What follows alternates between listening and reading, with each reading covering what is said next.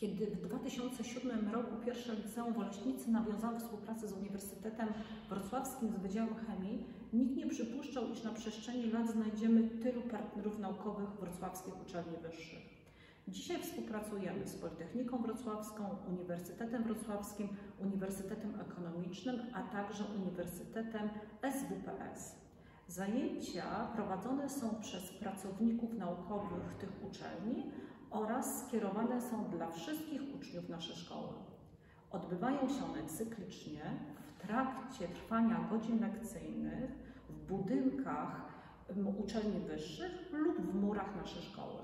Chcę podkreślić, iż wszystkie zajęcia dla naszych uczniów są bezpłatne. Staramy się, aby oferta dla naszych uczniów była ciekawa, różnorodna. Dlatego młodzież bierze udział w wykładach, konwersacjach, zajęciach laboratoryjnych z chemii oraz z fizyki. Dla mnie, nauczyciela chemii, ważnym pierwiastkiem są wyjazdy uczniów z klas biologiczno-chemicznych na Wydziały Chemii Politechniki Wrocławskiej Uniwersytetu Wrocławskiego. Tam uczniowie samodzielnie pod okiem pracowników tych uczelni wykonują doświadczenia chemiczne.